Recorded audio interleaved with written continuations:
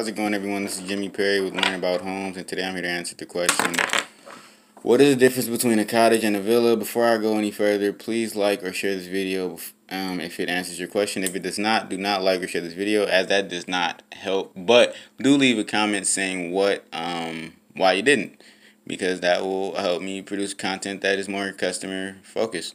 Uh, so, or let me know what you would like to see. So, so a cottage is a, a small, simple house, typically one near a lake or a beach. Eh, typically found near a lake or a beach. Uh, that's much better.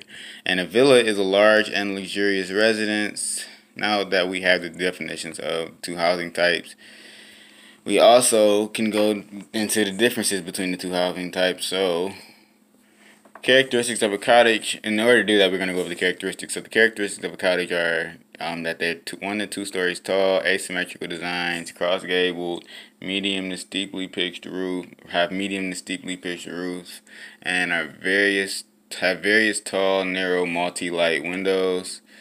Uh, villas, on the other hand, are lar- have large plots of land, amenities, and attractive scenery. Um, yeah, that's that's that's pretty much that's pretty that's a pretty decent answer.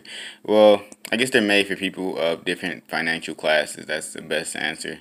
Those are the, that's the difference between a cottage and a villa. Thanks. Bye.